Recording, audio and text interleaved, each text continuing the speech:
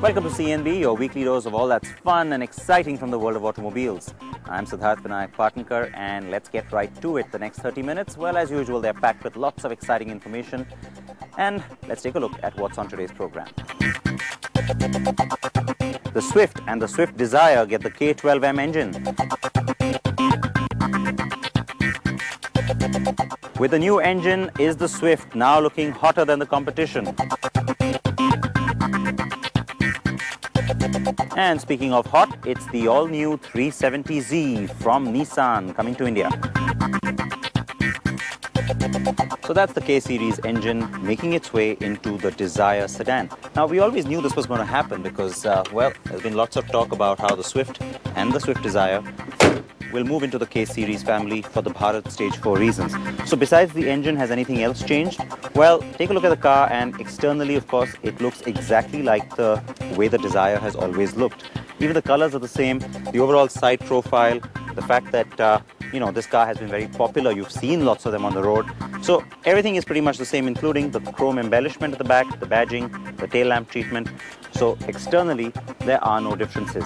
Course, uh, there are some things about the car that do change, including the prices, because Maruti has increased prices across its entire model range. Let's just get to know the Swift Dzire a little bit better.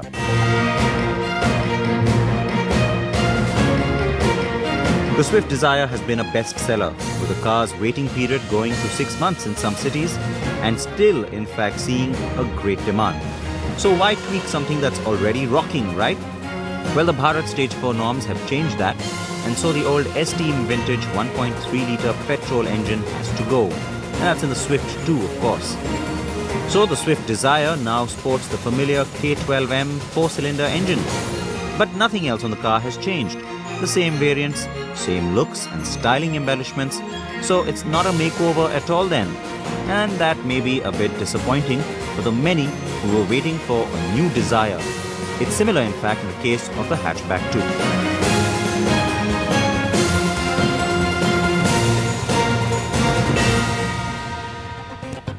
So no facelift coming in on the Swift Dzire and it's pretty much the same on the hatch also.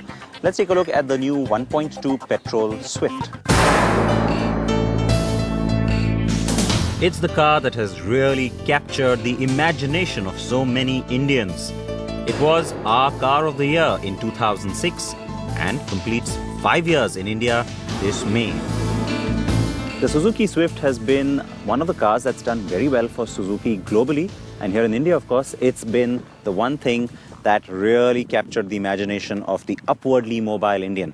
And why not? After all, the car was a global model. It looked the part of being really different to the old Maruti models. It's good looking, it's very sporty, and uh, well, don't think too much of this color that you're seeing right now because it's one of the test colors from Maruti.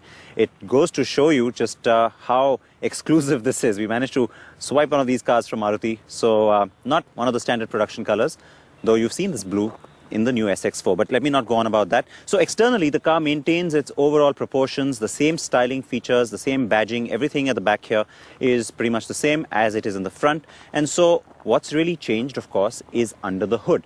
Now, the 1.2 litre engine, there was a prerequisite in some senses for Maruti to do that because it attracts a cheaper excise duty now for the company.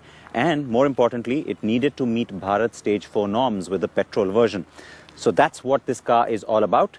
The secret is under the hood. Let me show you the engine now. The new 1.2 litre engine is really the one you already know. The K series comes from the Ritz. The specs read pretty much the same, so it's 83 bhp and a 5-speed manual transmission. Familiar territory. Tubar.com